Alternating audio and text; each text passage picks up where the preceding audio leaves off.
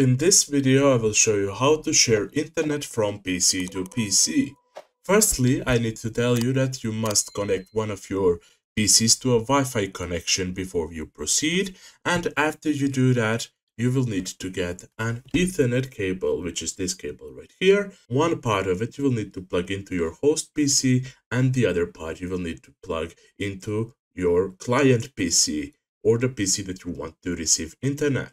After you do that, go over to your host PC, press the search button in the bottom left, and in here write network connections. Then open up the application at the top, and once you open up the application, make sure that both your Wi-Fi and Ethernet are enabled by pressing right click, and if you see a enabled button right here, select it. Before you proceed to the next step, make sure that the identifying text under Ethernet or Wi-Fi is finished. Once that is gone, as you can see the text changed from identifying network to unidentified network, then you will need to press Ctrl on your keyboard, then select both Wi-Fi and Ethernet.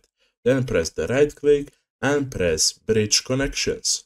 Then you will see this network bridge appear on your host PC and you will need to wait for it to finish saying identifying. Once it stops saying identifying right here in the network bridge, you can go over to your client PC and see if you are connected. The connection might take up to a few seconds or a minute. That is it for this video.